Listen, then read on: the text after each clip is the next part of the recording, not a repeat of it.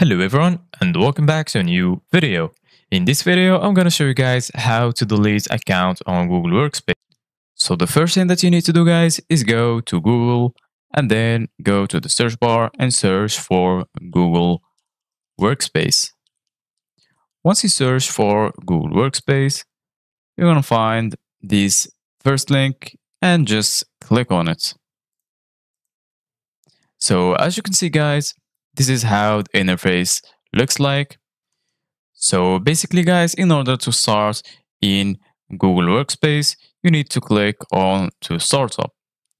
When you click here, all you need to do is follow the steps until you're, you have access to Google Workspace.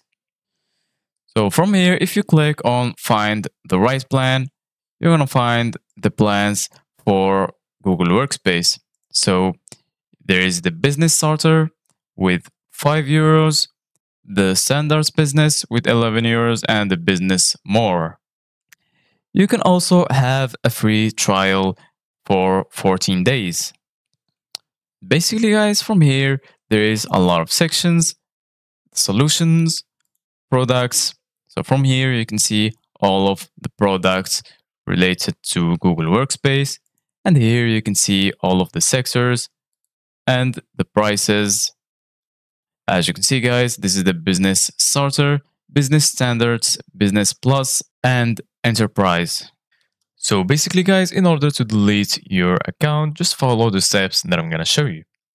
So the first step is sign in to Google Admin Console. Once you do that, go to menu and then click on Billing. And after that, go to subscription. After that, click your subscription and then go to more and click on cancel subscription. Once you do that, select a reason for canceling and then click on continue.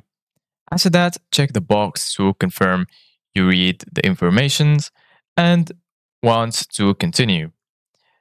The next step is to enter your email address and then click cancel my subscription.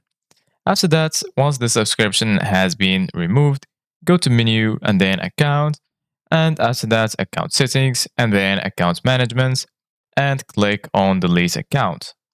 Check the box to confirm you read the informations and then click again on the delete account.